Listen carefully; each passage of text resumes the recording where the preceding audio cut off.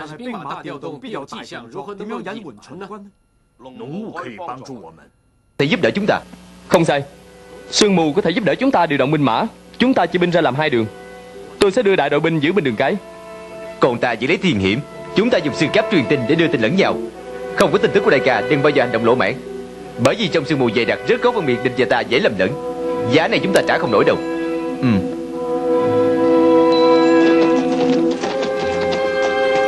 như địa hình chỗ này. Chúng ta phải tấn công bằng đường cái, Bằng không, Đường núi gồ ghề, Không tiện hành quân trong sương mù. Đại nguyên soái, Hãy ra lệnh phát binh công ngô. Đại nguyên soái, Quân quý thần tốc Kế địch thiên cơ.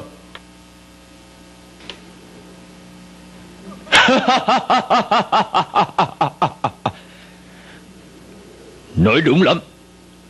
Chúng ta phải chế địch trước mới được. Chúng ta cần phải xuất điều Bất ý chế địch trước tiền Được. Tôi lập tức ra lệnh toàn quân tấn công. Khoan đã. Đừng nóng lòng như vậy. Lập tức cho người xuống dưới. Tất cả tướng sĩ Cởi bỏ áo giáp Chỉ mặc áo vải. Trường thương trọng quẩn Tất cả cất kỹ Chỉ mang theo đoạn đao đoạn kiếm. Tướng quân không được cởi ngựa Chỉ được đi bộ thôi. Nửa hôm sau tấn công vào phía hậu sơn Nếu như gặp phải kẻ thù trọng binh trấn thủ Làm gì chẳng khác gì lao đầu vào chỗ chết. Hey, hành quân đánh giặc Chắc chắn có người bị thương. Yên ngựa bọc tay Chết không đáng tiếc. Nhưng mà Con không chịu chuyên lệnh tuân lệnh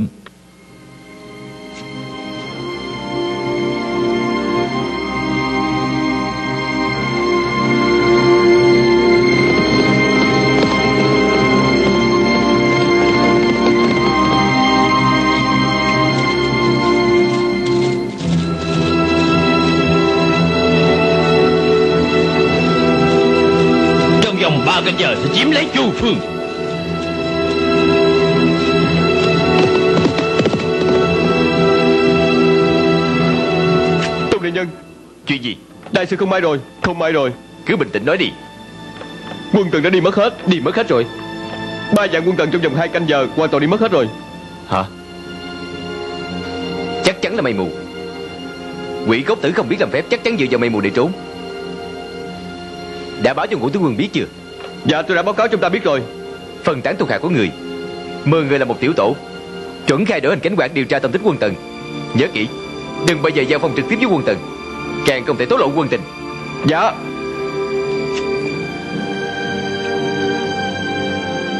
Quỷ cốc tử tiến binh nhanh thiệt.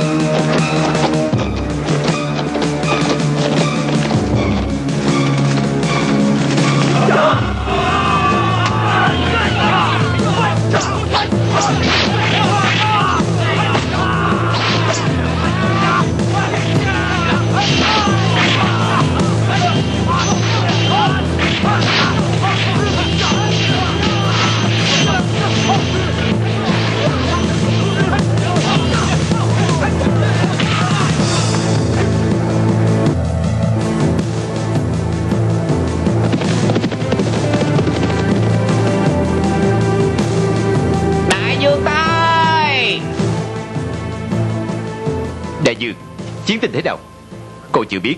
Tại sao lại không biết? Sương mù dày đặc tôi đã sai lĩnh đi kiếm một canh giờ rồi. Vẫn chưa có tin tức.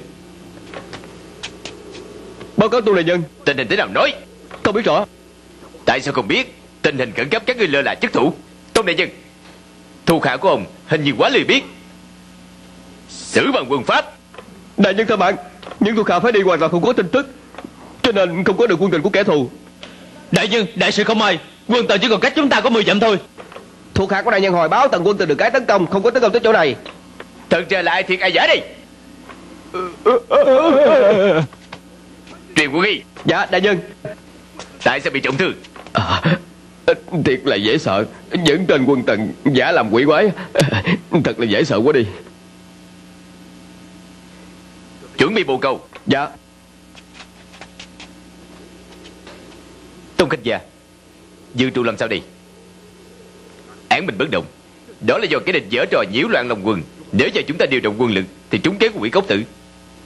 Nếu đó là kế hư thực thì sao? Ừ Giữ vững cương vị nhất động không bằng nhất định. Trong lúc hành quân, gặp phải biến cố khó lòng đề phòng.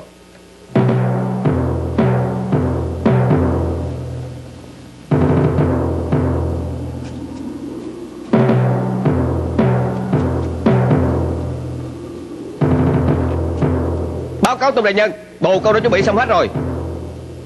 Ừ. Tình báo chưa rõ án bình bất động Phải nhớ kỹ. Đường thơ lập tức hồi âm báo cho Tùng Võ biết. Sương mù này Bao giờ mới tan đi hả? Có lẽ chỉ có quỷ cốc tử mới biết. Ông chủ. Hả? Mạng đầu. Lần này phiền phức thiệt rồi. Chuyện gì? Lá thư của ông với cho phu nhân đã viết cái gì vậy Chỉ đơn giản có vài câu thôi. Vài ba câu nói. Phu nhân xem rồi rất giận đó. Ông nói cái gì vậy hả? Ta chỉ nhắc nhở họ phải giữ phù đạo. Phải coi chừng quyến rũ của đàn ông. Thì ra ông nói họ như vậy. Hèn chi lúc nào phu nhân cũng tìm đại phu tới để tâm sự hết. Đại phu? Ông ta đẹp trai lắm. Tâm sự ở đâu hả? Trong phòng của ông á. Vô phòng ta làm gì? Nghe trộm thế nào đi nữa cũng không nghe rõ. Thiệt là hết đối để tới gì nghe trộm. Đông đại nhân Thái tử mời ông đi bàn diện quân sự Được ta tới ngay. Dạ. Mạng đầu bây giờ ta có chuyện. Coi chừng phu nhân giùm ta. Ông chủ nhìn không có thấy Chỉ còn cách nhìn lén thôi à. Vậy nhìn lén đi.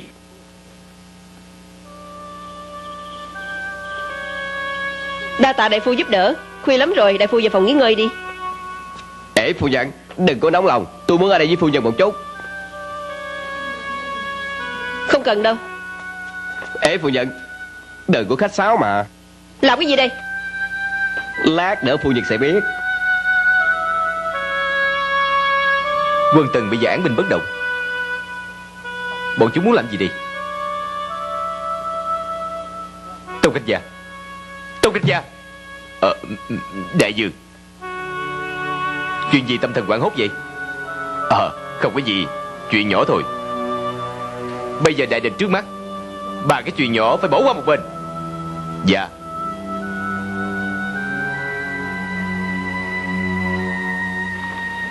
Người đưa binh đi đánh giặc. Không sợ thề thiếp Ở nhà liếc trai hay là sao? Nếu như ông biết thương vợ của họ Thì đâu có sợ vợ của họ đi lấy trài chứ. Thật hả? Vậy thì tốt Vậy thì tốt. Tôn đại nhân Tôn phu nhân xin gặp. Tấn công Tông võ. Tại sao hai bà tới đây vậy? Gã lại đây. Tôi đâu có quen biết hắn Không phải làm quen là không. Hắn muốn quyến rũ tôi và bối bối. Thiệt là vô lý gian dâm vợ người ta. Lôi ra đánh 80 trượng Lôi đi. Đi. À, Đi. Không có liên quan tôi đâu à? Đi, Không đi. có liên quan tôi. Hai vị phu nhân Hắn tới quyến rũ hai người Có bị thiệt thòi không vậy? Hai chúng tôi thành đồng dách sắt Hắn làm sao xuyên thủng được? À, Mày phước mày phước.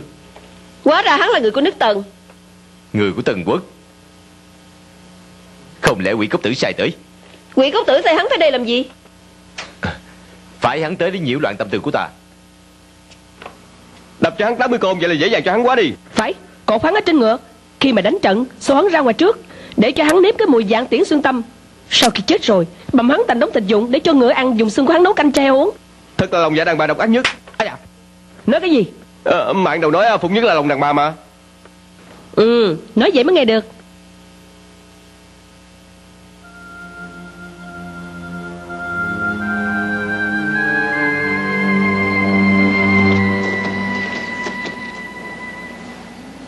tin gì không? Bẩm tướng quân không có. Đại ca đâu có thể nào không thả bồ câu cho ta. Có quân sự gì mới không? Thám tử ra ngoài được nửa canh giờ. Còn chưa trở về. Quân báo lần trước là giờ lúc nào? Một canh giờ trước. Quân tần còn ở ngoài 10 dặm. Một canh giờ trước Quân tần ở ngoài 10 dặm. Bây giờ đã hơn nửa canh giờ Chắc 5 dặm. Nếu như không có tin tức Chúng ta không kịp đề phòng đâu Truyền lệnh tam quân. Phái một ngàn binh mã Đi dò thám ở phía trước. Và nhớ đừng bao giờ giao phong trực diện với quân địch. Nếu như gặp phải kẻ thù, Lập tức thu binh về trả báo ngay.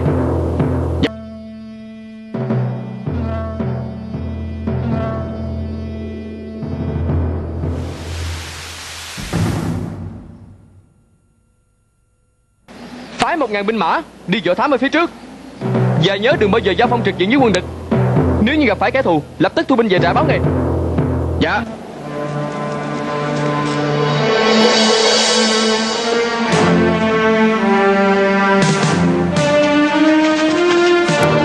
Tại sao không có tin gì hết vậy?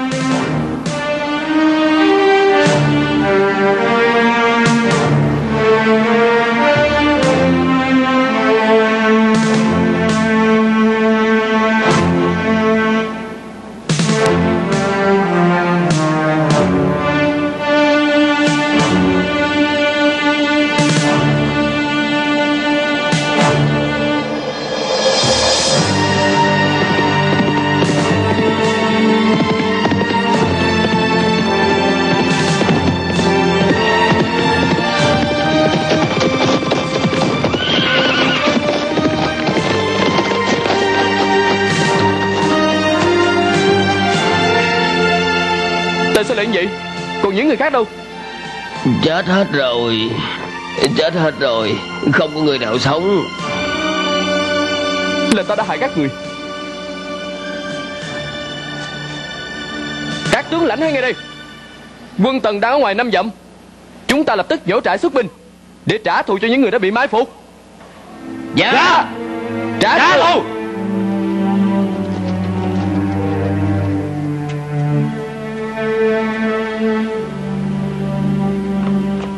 nhân Bộ câu thả ra bây giờ đã bay về. Mở ra xem coi ngũ tướng quân nói cái gì. Bức thơ này của ta viết cho ngũ tướng quân. Vậy nghĩa là sao? Sương mù dày đặc. Bộ câu tìm không được doanh trại của ngũ tướng quân. Như vậy chúng ta đã mất liên lạc với ngũ tướng quân rồi. Ừ. Nếu quân tần tấn công tới đây Chúng ta chỉ có mấy ngàn binh. E là? Đại nhân lần này nguy rồi. Chuyện gì? Quân tần đã tới năm dặm trước doanh trại.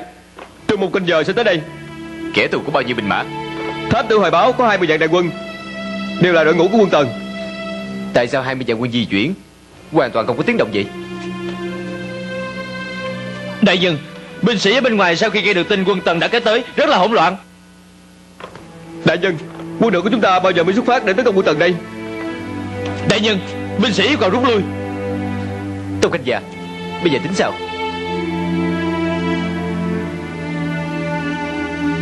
Lý An. Dạ Đi an ủi mọi người kêu họ bình tĩnh sẵn sàng cho lệnh xuất phát. Dạ. Hữu Minh. Dạ. Kiếm con ngựa nhanh nhất đi tìm ngũ tướng quân Kêu ổng tới đây cứu viện Đừng có chậm trễ. Dạ. Ngũ tướng quân cách đây bao xa hả? Khoảng 10 dặm thôi Bao giờ tới kịp? Khoảng 2 canh giờ Câu quân tân. 5 dặm thôi Khoảng nửa canh giờ là tới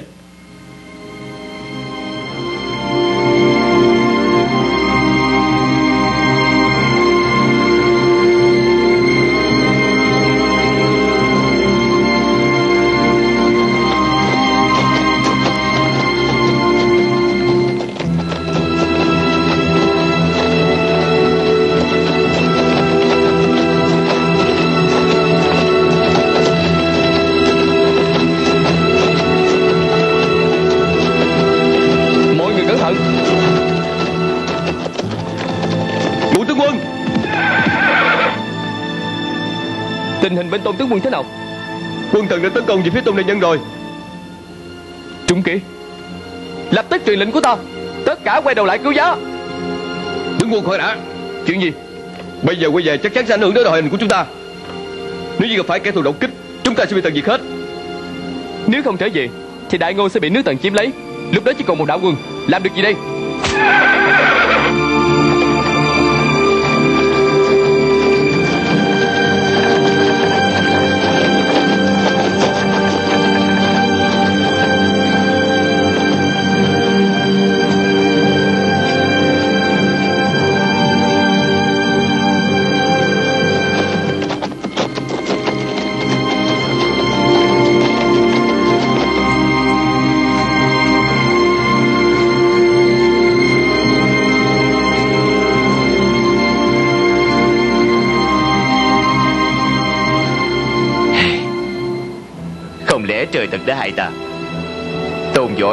chết tại đây.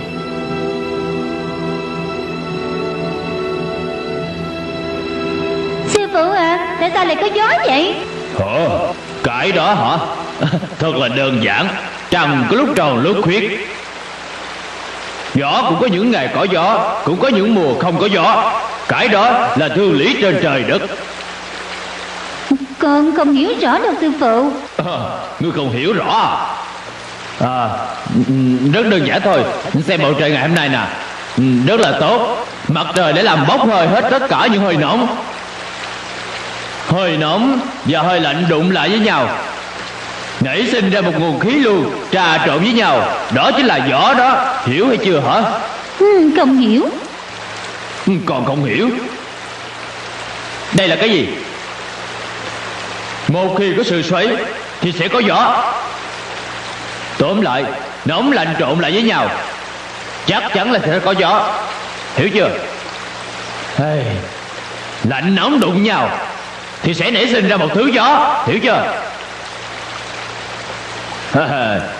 À, được rồi được rồi. Sau đây nhà ngươi sẽ hiểu. Hả? Lập tức chuẩn bị dầu. Dạ. Tôn khanh gia thái tử chuẩn bị dầu làm gì? Ta sẽ nổi lửa. Nổi lửa đốt đi cái chỗ này. Nổi lửa. Nổi lửa ăn thua gì chứ? Đây là phương pháp duy nhất cứu nước ngủ ta thì không hiểu. Tôn khanh gia bây giờ bốn phía đều là sương mù. Nếu như đốt lửa Đốt lửa sẽ có khói. Khói sẽ càng dày đặc thêm. Thái tử, Hãy nghe ta nói. Tôn võ đốt lửa là muốn dùng hơi nóng của lửa đẩy sương mù đi. Nếu như họ thật sự tấn công, Chúng ta rất dễ dàng phát hiện bọn chúng. Phương pháp này ngày xưa, Chắc là có người sử dụng. Không hiểu không vậy? Ờ Tôn võ xưa này chưa hề thử qua. Bây giờ thử một chuyến.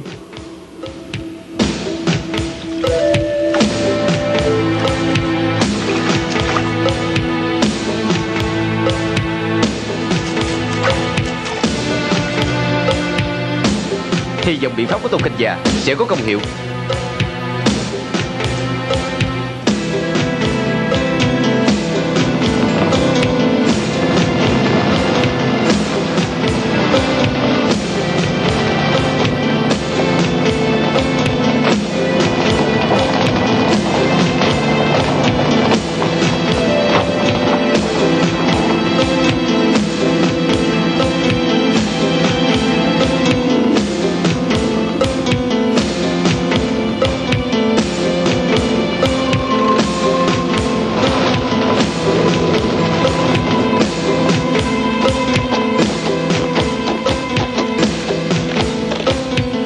Nguyên soái Chuyện gì mà hốt hoảng như vậy? Ngô quân tự loạn hàng ngũ thua thấy rõ Bọn chúng Tại sao lại tự loạn hàng ngũ? Đời trú đóng của quân Ngô bỗng dưng nổi cơn lửa. Cơn lửa cháy lên tận trời. Địa thế ở chỗ đó rất hiểm yếu Nhưng còn đốt lửa nữa. Người và ngựa chiến xa đều phải bỏ chạy. Nếu như hướng gió bất định Người ngựa và chiến xa có lẽ bị đốt hết. Tới lúc đó chúng ta không cần chiến đấu cũng thắng. Cho dù không có gió sương mù Thêm khói lửa làm cho chiến thuật chúng ta còn có thể phát huy một cách triệt để hơn nữa. Thật là trời giúp cho quân của chúng ta.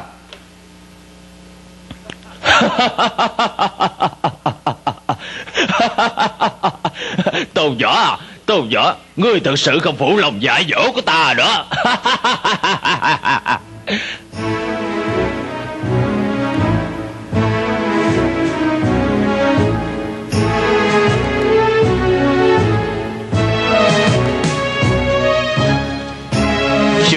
từ từ tan đi không? Dạ. Tôn Canh Gia quả nhiên thân cờ diệu toán Dùng lửa đốt sương mù. Có, có nhìn thấy quân lực của tần quốc không vậy? Nhìn thấy rồi Ở nam dặm dưới chân núi. Bao nhiêu chiến xa bao nhiêu kỵ binh? Tất cả đều là bộ binh. Đều là bộ binh. Phải. À. Thực ra không có tiếng quá. Toàn bộ là bộ binh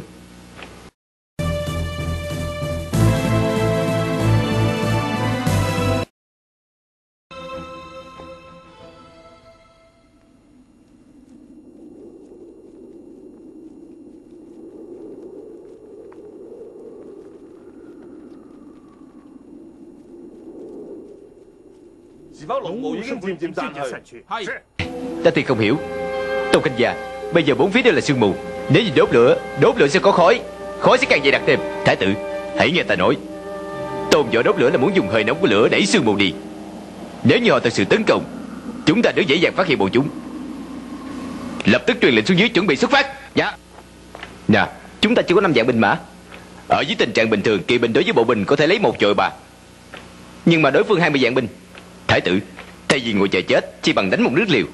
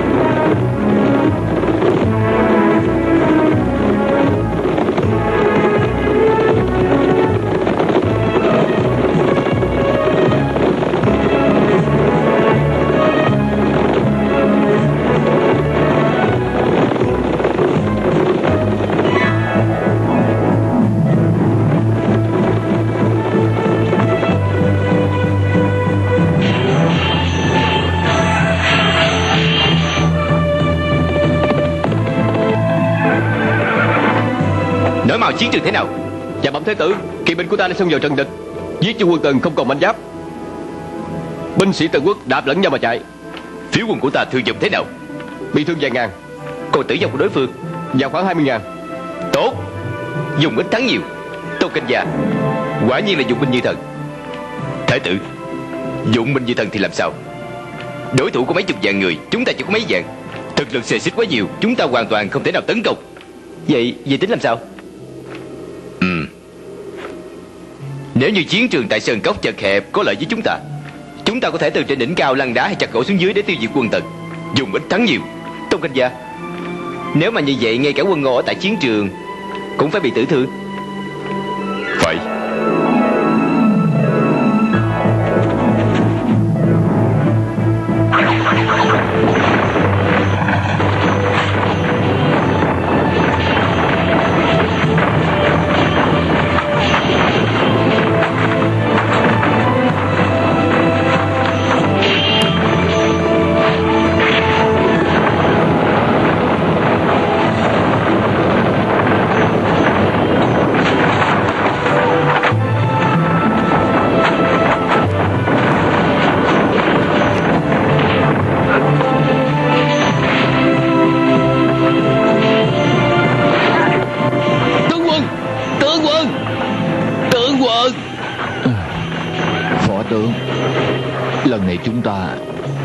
Bại xa trường rồi.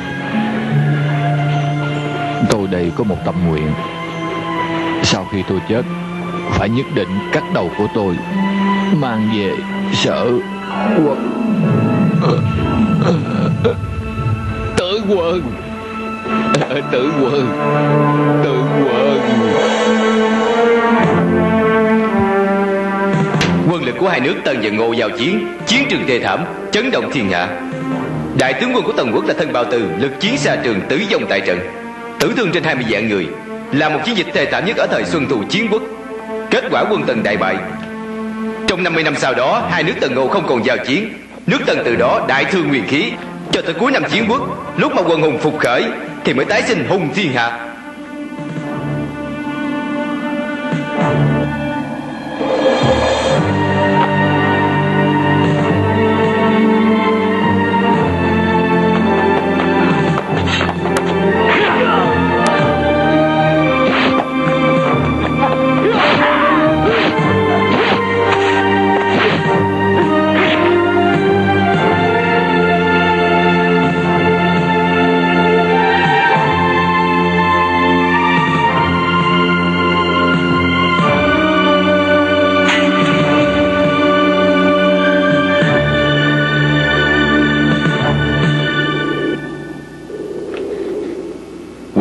Là đầu mối thiên hạ.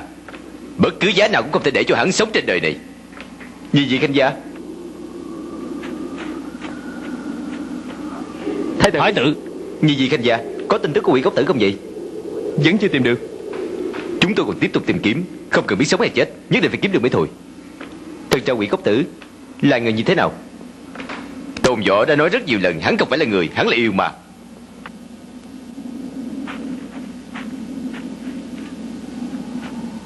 Bên này nè.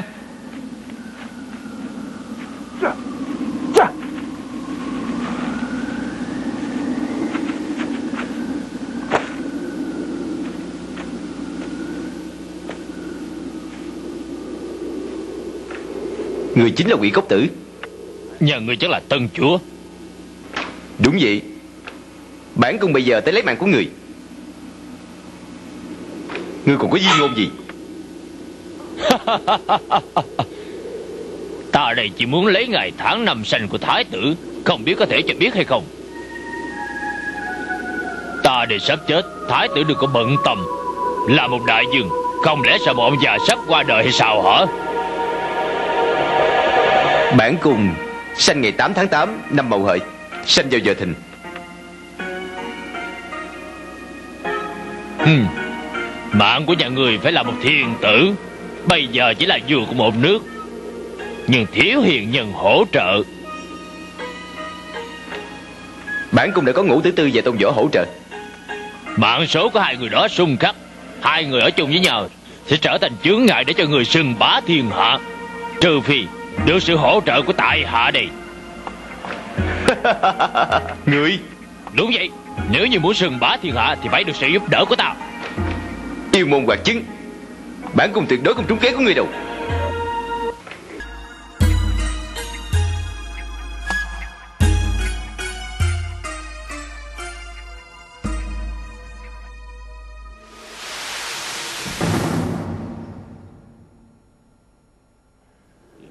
Hiền để xem coi. Tất cả những người này đều do chúng ta hại chết. Đã bao nhiêu năm rồi, Hai huynh đệ chúng ta nam chinh bắc chiến, Ra xa trường không biết bao nhiêu lần. Máu của những binh sĩ này còn chảy nhiều hơn sông Hoàng Hà nữa Thì ra ma đầu giết người chính là chúng ta Nếu như những người bị chúng ta hại chết Đều trở thành quỷ Thì cho dù hai huynh đệ chúng ta có ngàn mạng đi nữa Cũng không thể nào trả lại cho họ Không lẽ chúng ta tiếp tục giết như vậy Rồi dùng bàn tay đẫm máu tươi của chúng ta Bồng đứa trẻ mới ra đời hay sao Đại ca Đại ca thì không muốn đánh giặc nữa 大哥有什么想法？ 我想用大太子前带领家人 Nghĩ tới chuyện đời nữa Đại ca Hiền đệ Hiền đệ có đi chung với Tôn Võ hay không Không cần biết trong lập trường gì và góc độ nào mà nói Sống một cuộc sống nhàn rỗi Không phải là một việc không tốt Hơn nữa đã chinh chiến nhiều năm Cũng phải ổn định trở lại Đệ có bao giờ nghĩ tới việc sanh con sanh cái Để hưởng lộc chung vui hay không Đại ca Ngày mai chúng ta sẽ xin từ giả thái tử. Ừ. Cái gì? Nhị vị khanh gia đều muốn đi. Dạ, Dạ, thái tử. Tại sao chứ? Bây giờ chính là lúc ta suy nghiệp. Còn có nhiều việc phải cần tới nhị vị khanh gia Thái tử sắp lên ngôi Tân Dương. Chắc chắn sẽ có đại thần khác hỗ trợ. Tôi và đại ca đều là di thần tiền triều.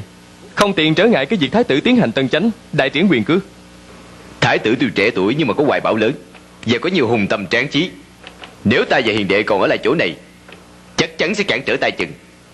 Đừng bao giờ nói như vậy. Nhưng mà tiên dương có gì quấn, Muốn? Tóm lại, Nhị vị canh già đừng bao giờ đi nha. Vì quấn của tiên dương kêu hai người chúng tôi là kháng tần bảo ngộ. Bây giờ đã thành công thì phải rút lui. Việc hỗ trợ Tân Dương Đúng ra không thay đổi trách nhiệm. Nhưng mà Tân Dương nó là mình chúa, Cho nên không cần các thần đây cản trở. Hai huynh đệ chúng tôi nửa đời sống trên lưng ngựa. Đã chán ngán các việc tránh sự rồi. Càng không muốn hành quần đánh giặc. Ngựa không có đấu chí thì không thể cởi nữa. Không có đấu chí thì không thể dùng nữa. Nếu như đã vô dụng, thái tử còn giữ lại làm gì? Công đức hiển hách của hai vị khanh già. Bản cùng rất muốn ban thưởng cho hai người. Thăng quan tiến chức. Từ này chỉ cần phụ chánh. Không cần phải đưa quân. Ra tuyển tuyến đánh giặc. Nếu thái tử thật sự muốn khen thưởng chúng tôi, Xin hãy cho chúng tôi hồi quy điềm viên, An hưởng tuổi già. Mong thái tử chu toàn. Thanh đao này đã ở bên cạnh ta suốt cuộc đời. Đẫm máu bao nhiêu người. Bây giờ cũng nên quy ẩn. Tướng công Tướng công cũng như vậy thôi. Lăn lóc nửa đời Cuối cùng đã yên tĩnh được rồi. Từ nay chúng ta có thể làm ruộng trồng rẫy Đánh cá săn thú. Phu nhân Nàng có chê khổ hay không? Tướng công cảm thấy vui vẻ trong lòng. Thì mũi không có chê cực khổ đâu Vui mừng còn không kịp nữa. Tiến công Từ nay nếu có thời gian Phu nhân. Bao nhiêu năm qua thật vất vả cho nàng. Phu nhân Có thái tử tới tìm lão gia.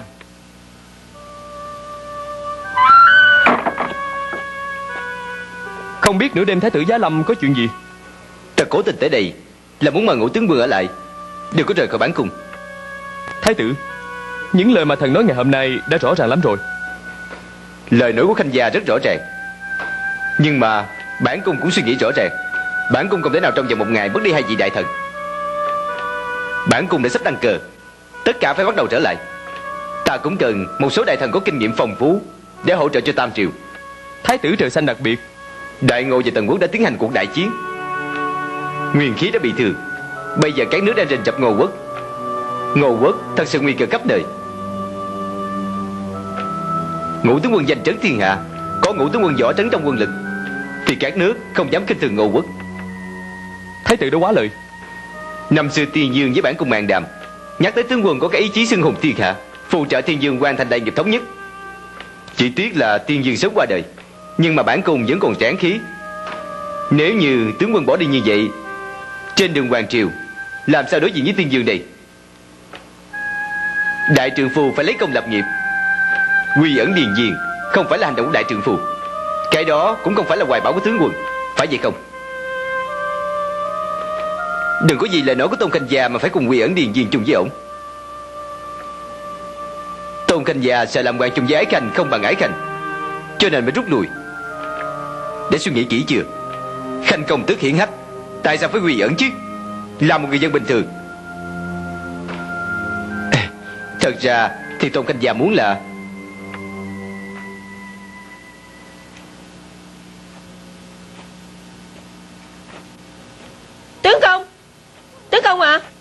Chuyện gì? Có đi lộn chỗ không hả? Hiền đệ làm sao đi lộn hướng được chứ?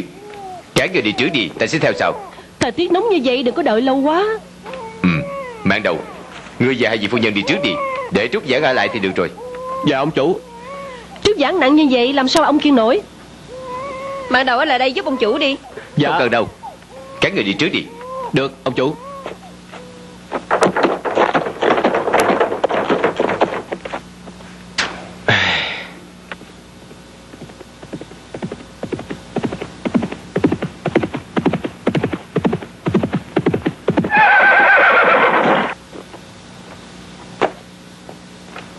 Hiền đệ Đại ca Đại ca Ở lại. Đại ca Huynh cũng ở lại nha. Có cầu nhất tướng công thành vàng gốc khổ. Đại ca và đệ tuy là đánh tình khác nhau Nhưng cũng không phải là kẻ tuyệt tình. Tiếp tục ở lại đây Chỉ là kẻ thiệt thòi thôi. Đúng ra đệ cũng muốn nghe lời của huynh quy ẩn điềm viên Nhưng mà đêm hôm qua thái tử Chúng ta là huynh đệ với nhau không cần nói thêm nữa. Những trúc giảng này đây là tinh hoa và tâm huyết nghiên cứu binh pháp bao năm qua của Tôn Võ Trong đó có ghi lại cách thủ thắng trong lúc hành quân đánh giặc. Tất cả có 10 quyển Bây giờ đại ca tặng cho hiền đệ Hy vọng hiền đệ xem xong rồi có thể sử dụng. Món vật này thật là quá quý. Đệ không dám nhận đâu. Đại ca hãy cất lại đi. Tôn Võ đã quy ẩn điền viên. Giữ lại bình thư cũng vô dụng thôi. Tiểu điệp nhìn thấy con mang đi làm củi đốt nữa. Nếu như để trở thành trò bụi Hay là để lại cho hiền đệ để mà làm kỷ niệm. Cảm ơn đại ca. Cái đạo bình pháp là phải dùng hợp quán xuyến Sử dụng một cách quyển chuyển mới có thể bách chiến bách thắng. Ừ Lời của đại ca dạy đệ sẽ khắc cốt ghi tâm. Tôn Võ phải đi rồi. Bảo trọng. Đại ca Bảo trọng.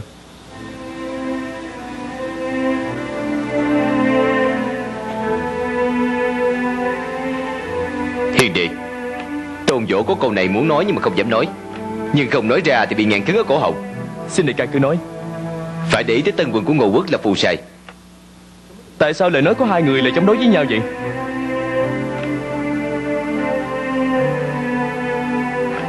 Phù sai nói như vậy hả?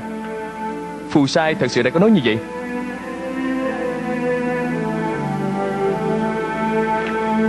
Ta hiểu rồi.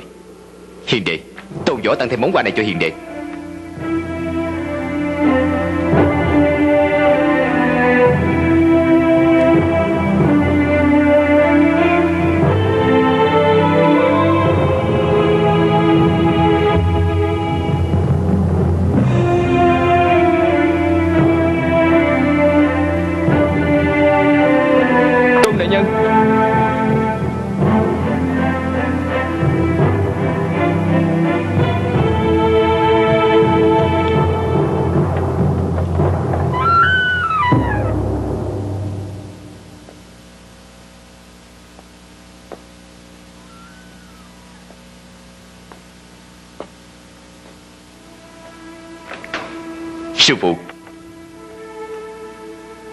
Tôn võ.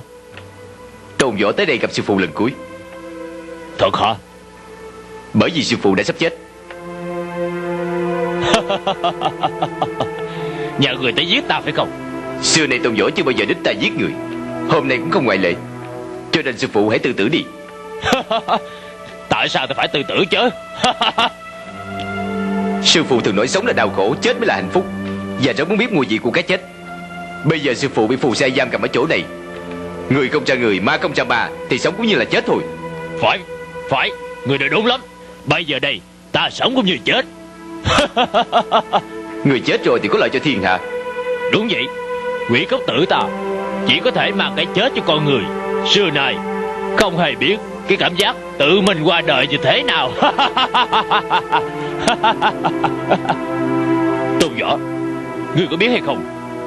Vị đại phù xúc phạm tới ái thiếp của nhà người Thật sự là muốn xúc phạm tới ái thề của nhà người. Bởi vì người đó Từ nhỏ đã thích những người đàn bà lớn tuổi hơn hắn. Gia vị phu nhân chánh phối của nhà người Không phải thích hợp với khẩu vị của hắn hay sao hả? Mười tháng sau, Nhà người sẽ sanh một đứa con Mặt như là táo đỏ. Tới lúc đó, Hoàn toàn không giống như là tôn võ nhà người đâu. Đừng nói thêm nữa. Ta không giết chết ngươi đâu. Người nói này nói nọ toàn là ra quỷ kế Ta không bị mắc lừa đâu. Tôn võ. Đừng nói thêm nữa. Cái ma lực của người đối với tôn võ mà nói Hoàn toàn không có tác dụng. Người tự mình kết liễu đi.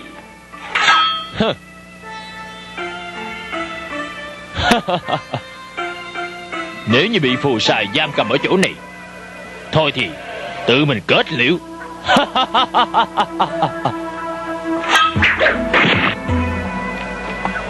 Ngày hôm đó tại trại lính ta đã khấu tại với người rồi. Cho dù người chết không nhắm mắt, tôn võ không cúi đầu lại tại với người nữa đâu.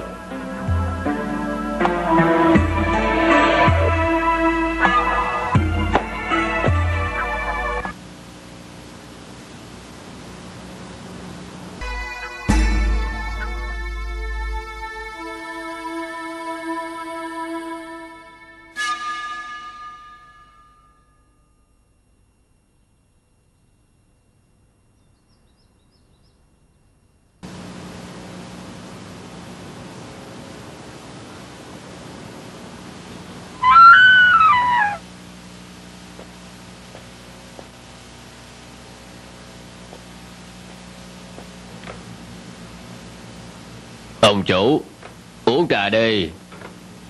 Ông chủ Uống trà nè. Ông chủ. Biết rồi. Bộ người tưởng ta điếc hả? Ông chủ không phải tôi nghĩ ông điếc Mà tôi sợ ông nghe không rõ. Đợi chút nữa đi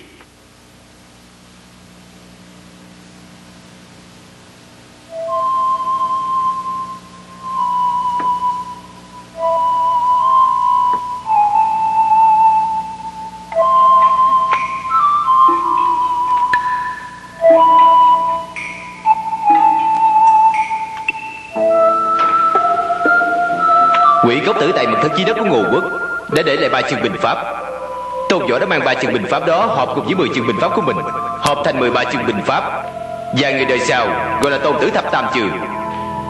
Sau đó, Ngô Dương phù sai chinh binh phạt diệt, Thái phụ ngũ tứ tư phản đối, Và quan hệ giữa Ngô Dương và ngũ tứ tư càng ngày càng tệ. Cuối cùng, ngũ tứ tư đã bị phù sai dùng tội phản nghịch, trị tội ban cho cực hình, ngũ mã phanh thầy. Phù sai sau đó phát binh phạt diệt, Thôn tính nước diệt, Và trở thành nhất dương bá chủ. Cùng với sở trang dương Tấn Văn Công Tề Hoàng Công Tần Mục Công Cùng với diệt dương cầu tiễn Hợp xưng là Xuân Thu Lục Bá. Ông chủ Tình hình ở đây hoàn toàn giống như là điều ông suy đoán. Thiệt là thần cơ diệu toán ha. Ngay cả một chiếc bình cũng không mang về nhà Thiệt là đường cùng rồi. Tôi đã nói ngay cả đồ nấu cơm cũng không mang vào trong trại. Có nghĩa là sẽ thề tử chiến Điều đáng quý nhất ở tại chiến trường là những binh sĩ không nghĩ đến tánh mạng của mình. Cho nên cảnh này không thắng làm sao được. Nhưng mà đáng tiếc trận này thắng không thắng, bại không bại. Ông chủ à, ông nói sâu sắc quá Tôi nghe không có hiểu. Ở trên chiến trường không bao giờ có trường thắng bá chủ. Năm xưa Ngô Quốc đại bại Diệt Quốc. Nhưng mà trải qua 10 năm rèn luyện 10 năm học hỏi Diệt dương cầu tiễn lại một lần nữa đánh bại Ngô Dương Và dũng mãnh vô song ở tại chiến trường. Nhưng đâu có người nào có thể so sánh với ngũ tử tử Rồi thì tới cuối cùng Ngô Dương lại nghe lời xàm ngôn Ngũ mã phanh thay hiền đệ. Ông chủ Ông cũng đã khuyên ngũ tướng quân cùng với ông chủ à, quy ẩn điền viên Nhưng mà ngũ tướng quân không có đồng ý. Ông mà cũng đâu cần tự trách chứ. Tử tư hiền đệ có ơn tri ngộ với ta nếu không có hắn, Tôn tử binh pháp không thể nào hoàn thành tại chiến trường. Và cũng chỉ có hắn mới lãnh ngộ được binh pháp của ta mà thôi. Nhưng thật không ngờ cách biệt năm xưa lại trở thành vĩnh biệt. Chúng ta không có ngày tái ngộ. Ông chủ à Thôi đừng có đau buồn nữa. Ngũ tướng quân linh thiên ở trên trời, Nhất định sẽ hiểu rõ dụng ý của ông mà.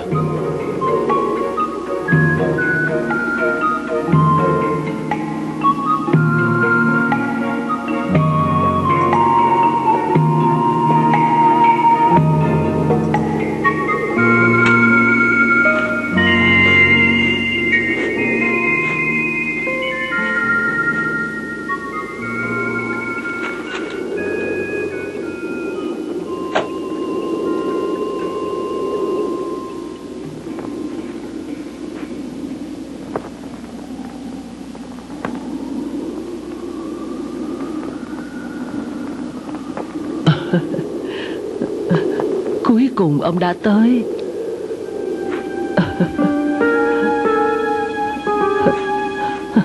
Ông chính là Tôn Võ. Tôn lão gia phải không? Phải không hả? Ờ. Thưa lão bà Tại sao lão bà lại biết gì?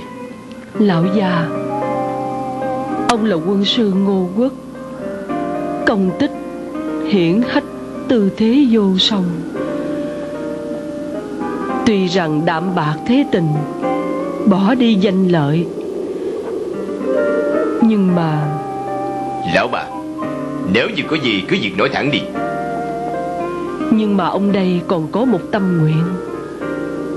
Ông hy vọng thiên hạ thái bình Bá tánh có thể bình an qua ngày.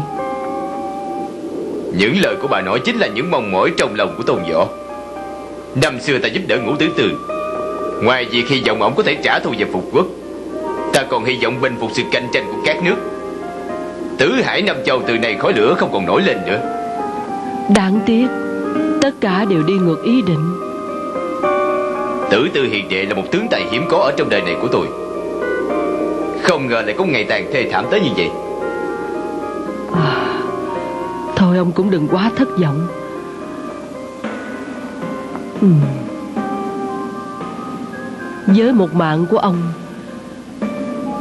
Nhà họ tôn Trước sau gì cũng có cháu cố.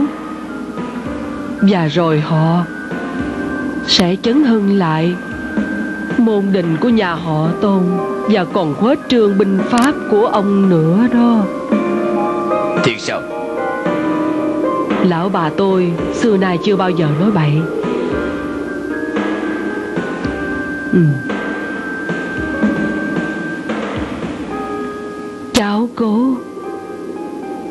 Đời thứ năm của ông. Cũng sẽ giống hệt như là ông vậy Danh lưu thiên cổ đó. Tôn võ chỉ hy vọng nó có thể là một nhân giả sơn thôn Sống một cuộc đời bình phạm Mặt trời mọc làm việc, mặt trời lặn về nghỉ Như vậy thì đủ rồi. Mạng số như vậy Đâu có thay đổi. Huống hồ. Lão bà Có phải đời này của nó gặp nhiều phong hiểm không vậy? Nó thông minh tuyệt đỉnh Làm bạn đối với nó. Chẳng qua chỉ là trò chơi thôi. Tất cả thì Đã nhảy ra ngoài tích số. Tôn võ phải làm như thế nào Mong lão bà chỉ dạy?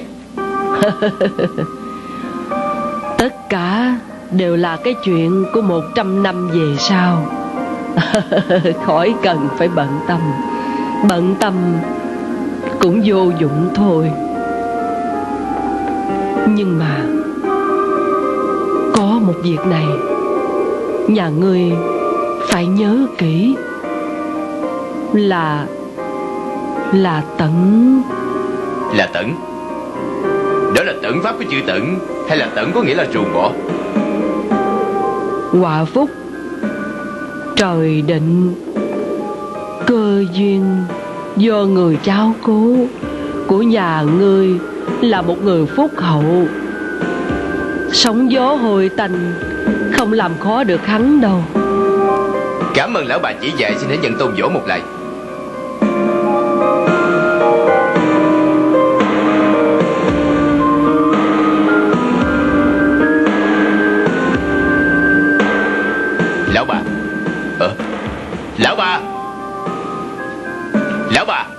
Chủ à thói cái là mất rồi Không lẽ là ma hả? Mang đầu đừng nói bậy. Ông chủ à Ông thực sự muốn cháu cố của ông là một người thôn phụ bình thường hả? Ta muốn yên phận là một sơn giả thôn phù Sống nhàn rỗi cả cuộc đời Có gì là công tốt.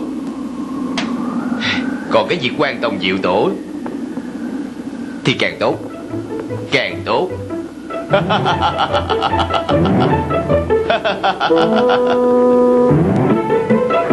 Đó Tôn Võ đã ở tại tập phục gia phả của nhà họ Tôn. Đã dự ghi tên của cháu cố đời thứ năm là Tôn Tẩn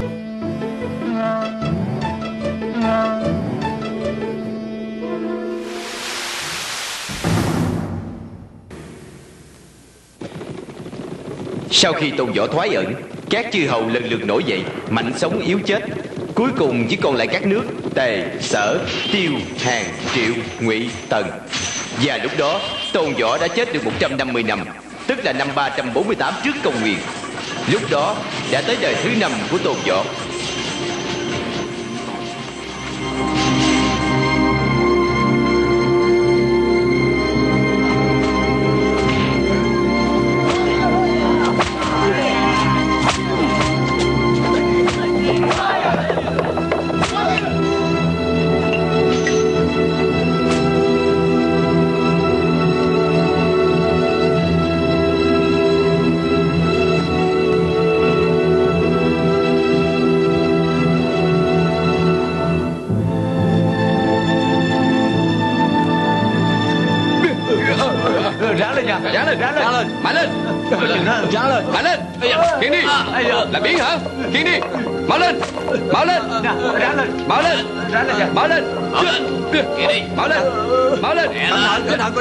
Mau lên Đè lên Đè lên Mau lên Dùng quá vô Ráng lên Mau lên Dùng sức lên Ráng lên Mau lên Mau lên Ráng lên Ráng lên Ráng lên nha Ráng lên Mau lên Mau lên Ráng lên Ráng lên Có chừng đó Mau lên Cẩn thận Ráng lên Mau lên Nè có chừng Nè có chừng Mau lên Ráng lên Nè lên dùng sức lên Ráng lên Ráng lên Mau lên Mau lên Dùng sức lên Kéo lại mau kéo lại Kéo lên Phụ ta đi Mau lên Mau lên Kéo lại Kéo lại con có chân có chân có chân đó có chân giữ lại kéo lại kéo lại mau phụ tay phụ tay kéo lại có chân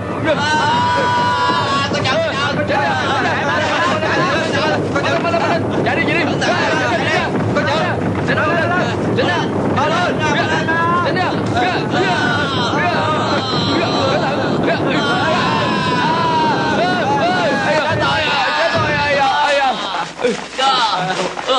chết đi cẩn thận mau lên. Mau lên. Nè cứu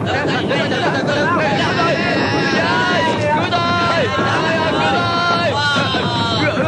cứu tôi chạy mau lên hết người kìa chạy đi đá lên chạy đi chạy đi cứu tôi muốn chạy hả? Muốn chết phải không? Hả? Làm làm gì mau lên? Mau lên làm việc muốn chết hả? Cho người chết à? Muốn chạy hả? Làm việc mau lên làm gì đi? Ra lại đi.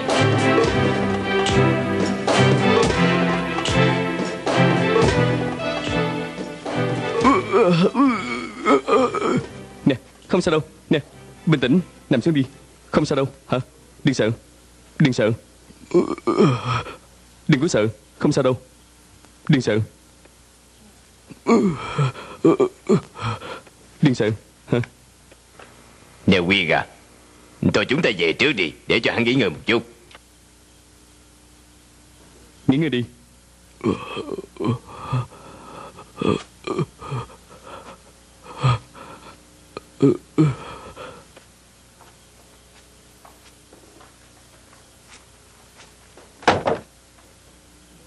Bọn quan quyền này không coi chúng ta là người mà.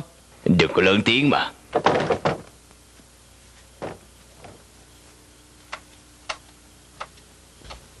Tướng quân Tướng quân. Châu Dũng từ xưa này Thưởng phạt công minh. Chỉ cần các người siêng năng làm việc đừng lười biếng. Chắc chắn sẽ có nhiều điều lợi. Hừ. Ngươi.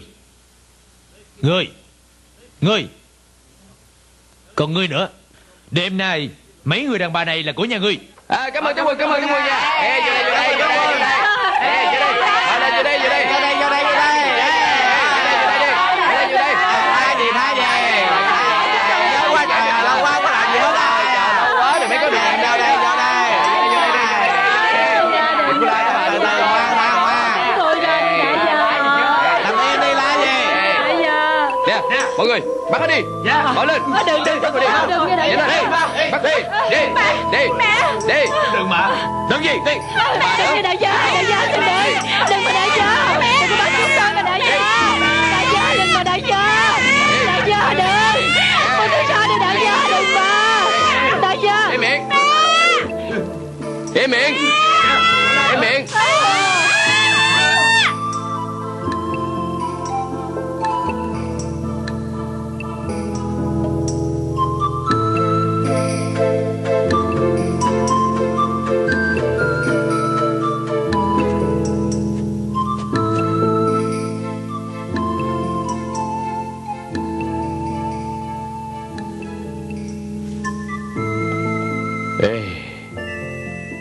Cô nhà ngươi nha. Luyện ngày luyện đêm. Biết thêm được mấy chữ ăn thua gì chứ? Cuối cùng là ngày nào cũng phải khiên giác Làm việc nặng thôi à. Hãy bắt chước anh của con kia kìa. Làm việc siêng năng chốt đi. Ít ra đêm nay nó cũng có được à, một người đàn bà đó. Cháu không cần đâu. Nội đã dạy cho cháu đọc sách biết chữ Và lý lẽ làm người. Cháu đâu có muốn suốt đời phải sống ở đây. Tốt. Phải như vậy mới được. Ê, Ba cái chuyện đó trời đã ăn bài rồi à. Không thể sửa đổi đâu. Chấp nhận đi. Tôi không tin số mạng đâu. Bàn quyên tôi hôm nay xin thề Nhà họ bàn tới đời này của tôi. Nhất định sẽ nổi tiếng thiên hạ. Bàn quyên tôi Nhất định sẽ quan công dự tổ. Nổi bật hơn mọi người.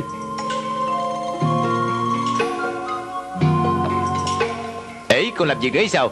Tôn thiếu gia lại phát tiền nữa kìa. Vậy hả? Đi liền Nè Còn chưa làm xong công việc. Sư phụ à đi chơi với cậu ấy một chút còn hơn làm việc cả tháng mà. Tôi không thèm làm nữa đâu. Nè nè Tôn thiếu gia hôm nay có trò gì mới không? Thì đã cậu. Nếu mà thua thì phải đưa cái cầu cho cậu ta Muốn làm gì thì làm. Phải rồi miễn là được rồi đi mau đi mau lên đi mau lên Cắt cái tóc cho mày như vậy á, là phước đức cho mày rồi đó. Mày coi thằng kia kìa. Như vậy sao lắm hay sao? Ở đây á, trừ cái đường rãnh Hai bên chảy nước không tốt hay sao? Thích hay không? Không thích Wow hay thiệt á quần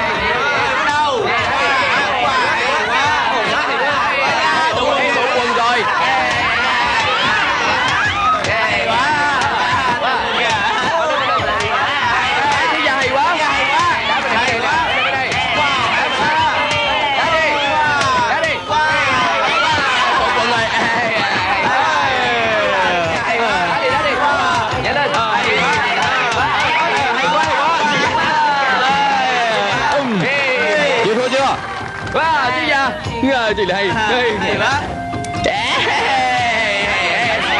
Đừng đừng đừng nha Đừng nha.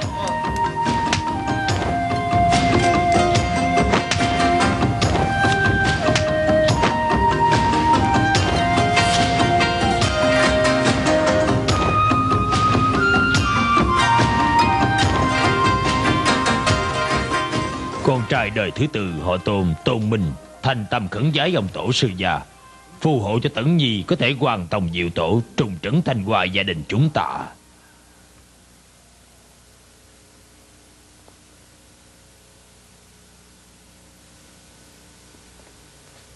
Tôn nhi nó không còn nhỏ nữa Tự nhiên nó sẽ biết lo. Bà nhà Chỉ biết chiều nó mà thôi.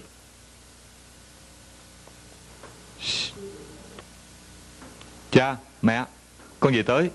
Tôn Tẩn Tôn Tẩn Con đi đâu vậy hả? Đi học. Phải không? Ờ dạ phải đi học đi học. Các người cứ nói láo dùm cho thiếu già Không có chuyện của các người ra ngoài. Ừm, Tẩn Nhi Ngày hôm nay là ngày sinh nhật 25 tuổi của con. Con còn nhớ con là người gì hay không? Đương nhiên nhớ chứ. Con là cháu đích tôn đời thứ năm của tôn võ. Phải kiến công lập nghiệp quan tông diệu tổ rạng rỡ danh môn. Tôi đã nói là Tôn Nhi nó khôn ngoan biết chuyện mà. Ăn nói khôn khéo Chưa chắc gì là biết chuyện biết lý. Cái tên này Là do tổ tiên tôn võ đích thân đã đặt cho con. Ông ta còn nói Nhà họ tôn đời này của con Nhất định có thể hoàn tông diệu tổ Trùng trấn thanh hoài. Tẩn nhi Con đừng bao giờ cô phụ kỳ vọng của tổ tiên đối với con nha. Cha yên tâm đi. Con xin hứa với cha Sẽ không làm mất mặt cha đâu. Năm nào sinh nhật của Tôn Nhi Thì ông cũng la rầy nói như vậy. Thôi đi. Cũng tại bà. Ngày xưa thầy bối đã tính Ngày mai mới là giờ kiếp Bà lại sẽ nói sớm một ngày. Làm cho nó bây giờ khó giải như vậy. Con có biết hay không? Ngày xưa khi con ra đời Vào những ngày tháng 6 Trời trong gió mát. Nhưng mà lúc con ra đời Mây gió thay đổi. Trời thì bỗng nhiên đổ tuyết. Trên đầu con có dần mây sáng chói. Ban đêm có bảy ngôi sao và mặt trăng Là cái tướng đại cát đại lợi. Cái hiện tượng tình tú như vậy Gọi là thần long giáng tuyết Tượng trưng trên trời Đã sai bảy vị tướng quân, Hộ tống một vị tiểu đế giường hạ phàm gian Tất cả quỷ quái gian tà Đều phải tránh xa hết. Cái cảnh tượng hiếm có như vậy, Mấy trăm năm mới có một lần. Và mỗi một lần Đều có một khoáng thế kỳ tài xuất hiện. Nội à Cháu đã hiểu rồi. Tuy rằng nước tề đã diệt nước ta, Và làm mất đi vận thế 25 năm của mình, Nhưng mà không thể nào ngăn cản được sự ra đời của con. Vận mạng của con đều nằm trong tay của con. Như vậy có thể chứng minh Sau này sẽ có ngày con nổi bật Có phải không?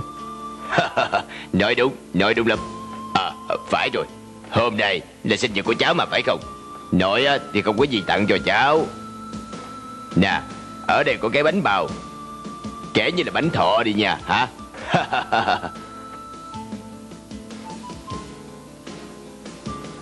Nội à Cảm ơn nội nhiều lắm. Ê, Nội à Cháu hứa với nội Đây là lần cuối cùng Cháu ăn sinh nhật của mình trong chỗ quỷ quái này. Nhưng mà sang năm Cháu sẽ mời nội tới tiệm nước Nổi tiếng nhất ở Tây Quốc. Tốt, tốt lắm. Nội không sao chứ? Không sao, không sao